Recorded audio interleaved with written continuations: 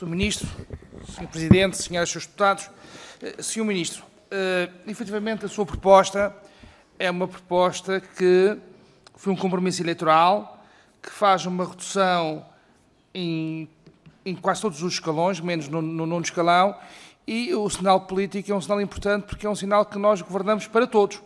Não governamos só para as pessoas que estão no quinto escalão, governamos também para as pessoas que estão no sexto, no sétimo e no oitavo escalão. É sobretudo também importante saber que a proposta que nós tínhamos era aquela que saiu do Orçamento de Estado para 2024, que só havia reduções até o quinto escalão. Agora o PS de Pedro Nuno Santos, eh, na proposta que apresenta, já faz uma redução no sexto escalão.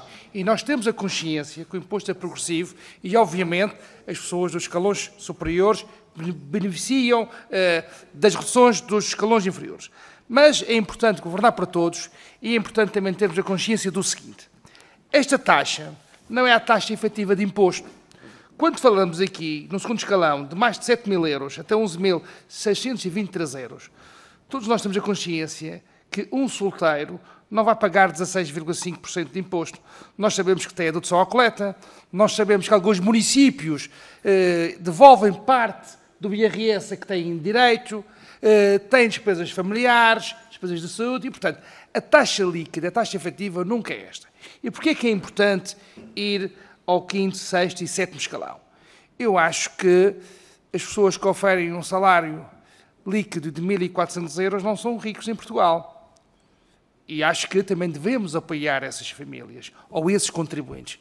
Até porque temos a consciência que, ao contrário do que o Sr. Deputado disse, muitos desses agregados ou sujeitos passivos singulares são estudantes que se licenciaram, que estão a começar a sua vida ativa, que ganham certamente mais de 1.300 euros e, se calhar, porque a taxa é elevada, que imigram. E, portanto, é importante dar um sinal a um tipo de agregado ou de sujeito passivo que tem capacidade de poupança, que tem que pagar menos e é importante que no sexto, sétimo e oitavo escalão também essas pessoas, esses portugueses, tenham uma redução efetiva de imposto. Por isso, senhor eh, Ministro, a questão que, que lhe falo tem a ver com essa questão que falei há pouco, que é o efeito marginal eh, do, do, sexto escalão e do sétimo, que são eh, sujeitos passivos que beneficiam da redução dos escalões anteriores, mas que é, não é importante, para reter alguns portugueses também, aqui em Portugal, sobretudo os mais jovens. Muito obrigado.